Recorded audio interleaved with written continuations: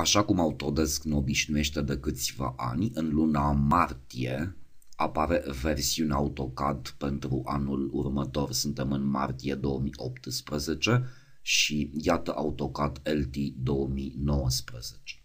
Meniul Ribbon este structurat exact ca la versiunea 2018. Micile modificări sunt de ordin estetic, spre exemplu aceste puncte de început și de sfârșit pentru line, polyline, circle și arc. Toate modificările sunt uh, așadar la nivel de cosmetizare. Conținutul panourilor draw este același până și instrumentele adiționale sunt aceleași, la fel în panoul Modify, în panoul Annotation, Layers, Block pentru lucrul cu elemente inserate de tip block și panoul Properties, grup cu cele trei instrumente care au un aspect ușor diferit, dar își păstrează din fericire locul, utilități, utilities, și clipboard, până și instrumentele care nu se pot apela din meniu, ci se pot scrie doar în linia de comandă, ca și The Line, au rămas uh, aceleași. Nici spațiul hârtie, layout 1, nu suferă modificări.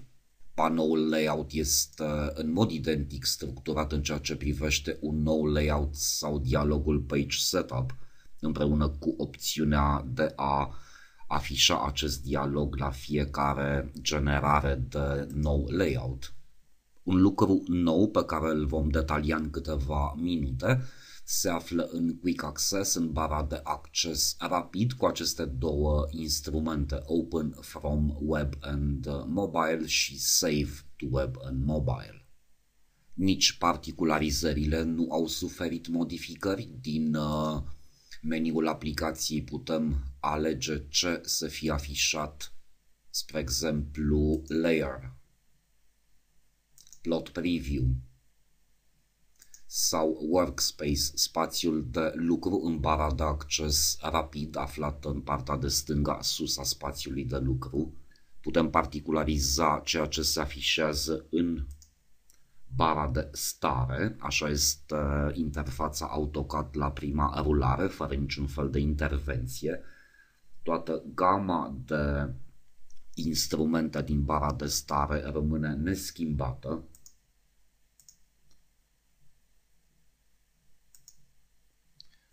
Options, dialogul este același pentru tabul File, Display, Open and Save. Sigur că aici a apărut uh, AutoCAD 2018 ca versiune anterioară.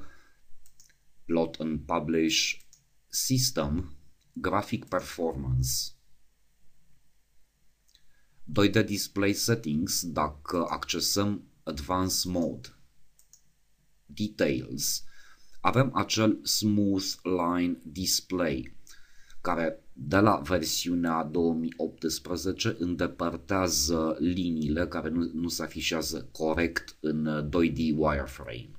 Să închidem dialogul Graphic Performance și următorul tab User Preferences, preferințele utilizatorului și aici lucrurile sunt neschimbate până și la Right Click Customization, particularizarea comportamentului de click dreapta pentru diferite comenzi. Drafting avem același AutoSnap Marker Size și Aperture Size, iar la Selection lucrurile sunt la fel de neschimbate.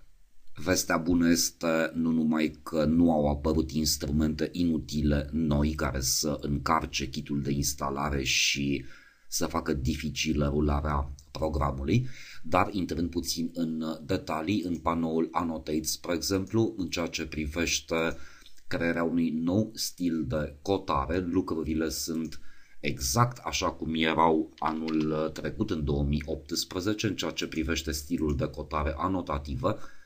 Dialogul lines, symbols and arrow text, fit primary units au rămas exact așa de, la, de altfel de la versiunea 2002 încoace. Noutățile pe care le aduce AutoCAD LT 2019 sunt uh, în panoul Collaborate Avem DWG Compare și Shared Views. Să accesăm primul instrument, Shared Views. Nu avem niciun view. Click pe New Share View.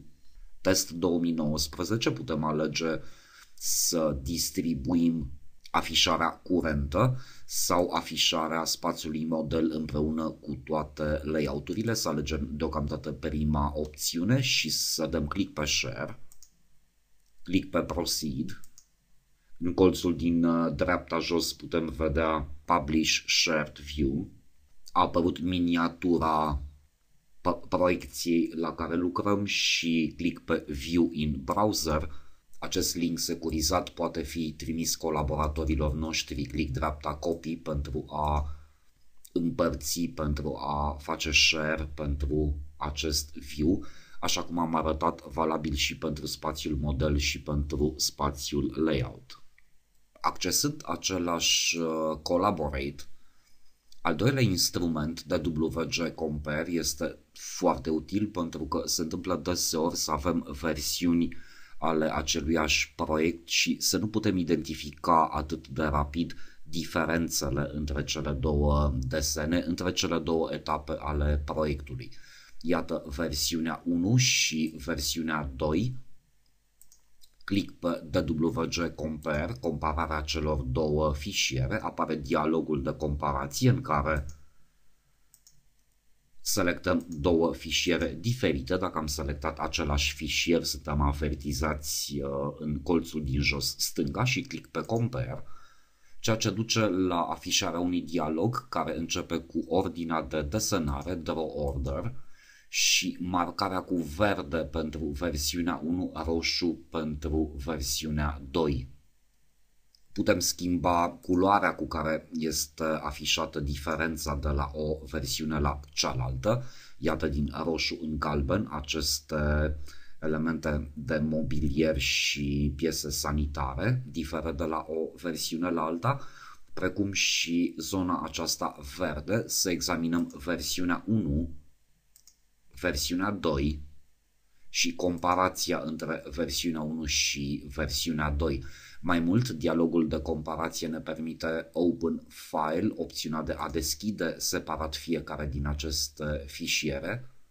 Comutăm la comparație, deschidem uh, celălalt fișier, comutăm la comparație sau și mai simplu, dacă fișierele sunt deja deschise, pentru că AutoCAD LT 2019 suportă și acest lucru, putem comuta între ele și examina dacă fișierul de comparație într-adevăr respectă realitatea.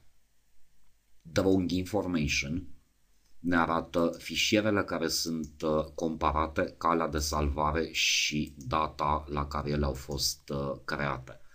Putem insera în desen sau putem copia în uh, clipboard. Continuăm să explorăm noutățile AutoCAD LT 2019. Aminteam acum câteva clipe de cele două instrumente din bara de acces rapid, Open from Web and Mobile și Save to Web and Mobile. Accesând al doilea instrument, salvare către web și dispozitive mobile, aduce în fereastra de lucru un uh, dialog care ne cere să instalăm pluginul de salvare, bifăm acordul cu condițiile de utilizare și click pe Install. În funcție de viteza conexiunii dumneavoastră, aplicația se instalează în 2, 3, 4 secunde sau jumătate de minut. Imediat după instalare apare uh, dialogul Save in AutoCAD Web and Mobile Cloud Files. Oferim un nume acestui proiect și de îndată ce dăm click pe Save, trimitem acest fișier în uh, cloud. Îndată ce am salvat fișierul către dispozitive mobile și web, se pune în mod firesc întrebarea cum uh, se accesează același fișier de către un alt partener. Ei bine, de la prima opțiune, primul icon, Open from Web and Mobile, și iată apartamentare stadiul 4 și stadiul 5, precum și foldere cu alte proiecte. Există și o mică modificare în ceea ce privește linia de comandă. Click în Command Prompt în linia de comandă și la click dreapta a apărut opțiunea comenzi recente, de unde putem să alegem una din comenzile anterioare.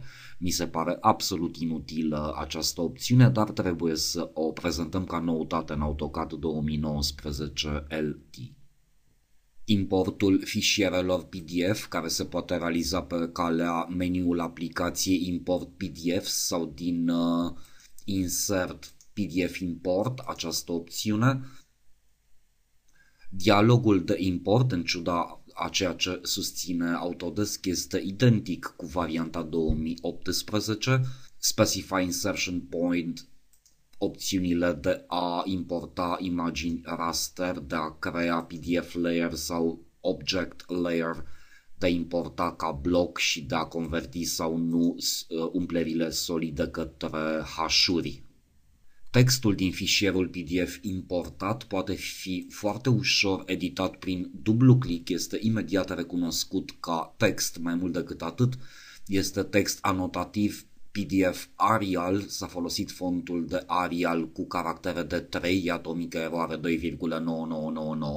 Arial culoarea galbenă Justification a apărut bullets and numbering în uh, editarea de paragraf de text iar uh, acum putem să edităm și să modificăm orice text, putem șterge sau putem adăuga undo și undo, click în afara spațiului de lucru.